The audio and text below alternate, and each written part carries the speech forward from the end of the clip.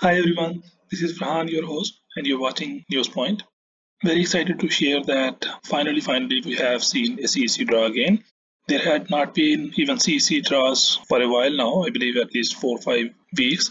And I had mentioned in my previous videos as well that probably they do not have like 5,000 applicants in CEC category, so that is why we are not seeing the draw. So now, since yesterday we saw that there were so many people who had created their profiles since the previous draws, that number had actually gone way up. So they have done a CEC only draw. Let's take a look and then see what happened in today's draw. So Express Entry draw number 179, it happened on March 18th. A total of 5,000 ITAs are issued. And this draw happened on March 18th, that is today, 2021, at 11.30 UTC, about 9 o'clock Toronto time and I believe it was published on CIC's website a little while ago.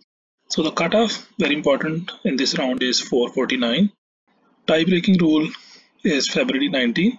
So this means that anybody who is above 449, like 450 and above, no matter when they created the profile, as long as they are in CEC category, they will be receiving the ITA.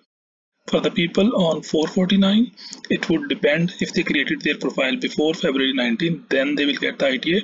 If they created their profile after February 19 they will have to wait. And obviously anybody who is 448 or below no matter when they created the profile they still have to wait.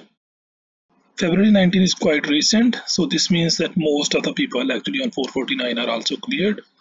So congratulations to all those people who will be receiving their ITAs within the next 2 to 24 hours. If you still haven't subscribed our channel consider subscribing our channel so that you never miss any of the updates.